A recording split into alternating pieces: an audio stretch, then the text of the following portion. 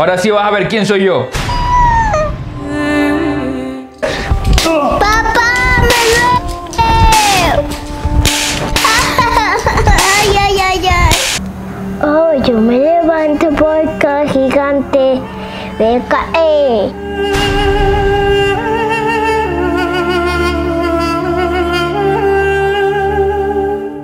Quiero a mi papá, yo lo quiero.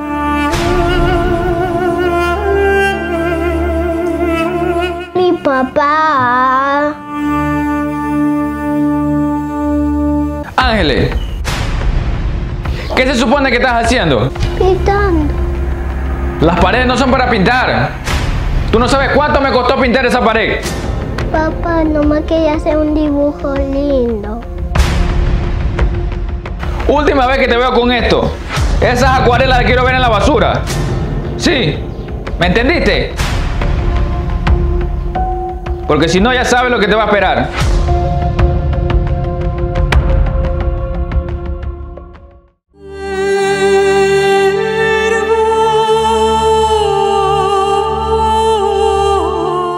Bravo, bravo, la niña. Ahora sí vas a ver quién soy yo. Papá. Yo te dije lo que te iba a esperar.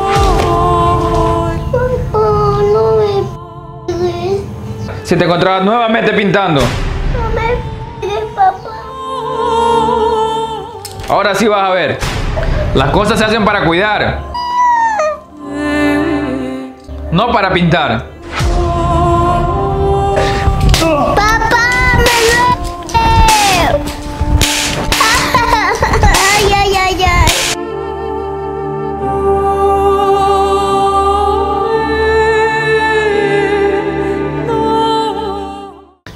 Me esperas aquí.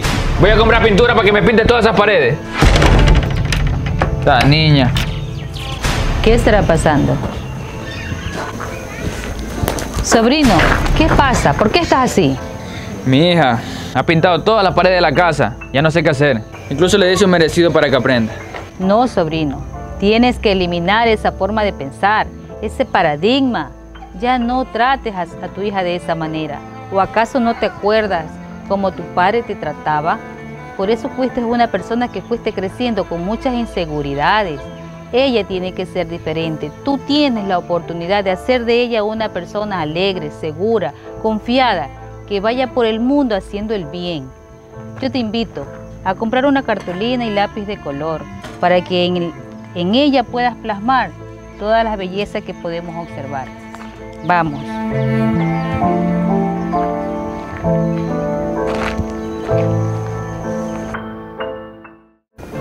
Hija, ¿qué estás haciendo? Estoy haciendo un dibujito. Este y yo. Papá, ¿vas a, vas a utilizar la faja? No, hija. Ya no lo voy a hacer. Eso estuvo muy mal. Por eso te pido que me perdones. Mira lo que traje. Vamos. Vas a dibujar. Mira, de todos los colores. Voy a dibujar un río aquí.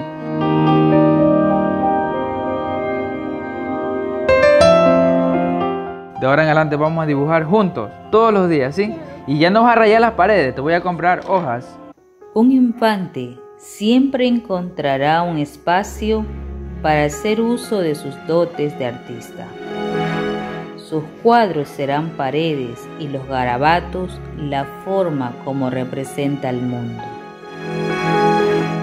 La crianza de los hijos trae consigo diferentes etapas, para lo cual los padres deben revestirse de paciencia y sabiduría dejando atrás el legado nefasto y patrones culturales que sumergen a la familia en la tristeza y abandono. Comenta y comparte este video en todas tus redes sociales. Dios te bendiga.